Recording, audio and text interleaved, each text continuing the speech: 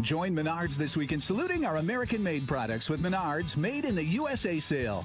EC Grow has been producing high-quality turf fertilizers in Eau Claire, Wisconsin for more than 20 years. Premium weed and feed is $9.99 per bag after rebate.